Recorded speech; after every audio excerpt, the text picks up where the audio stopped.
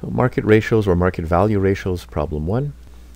We're going to calculate the price earnings ratio.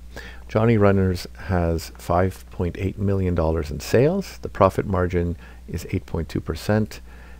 The firm has 160,500 shares in stock of stock outstanding, and the market price of these shares is $65.80. So to calculate price earnings ratio, we start with the fact that price earnings ratio is simply the price per share divided by the earnings per share. Now we have the price per share of $65.80. So now we calculate the earnings per share. Well, we don't have it directly, but we have it indirectly. We have the sales and we have the profit margin.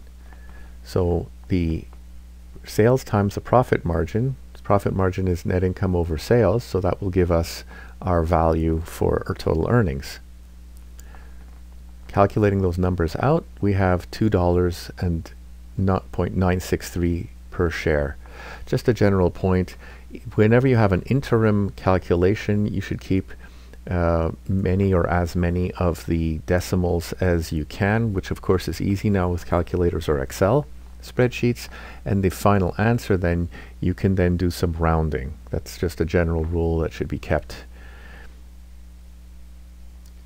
So now we have the price earnings ratio. We divide the price, the 65.80 by the earnings, we get $22.20, uh, sorry, 22.21. This is a multiplicative factor. It's not in dollars or in any units.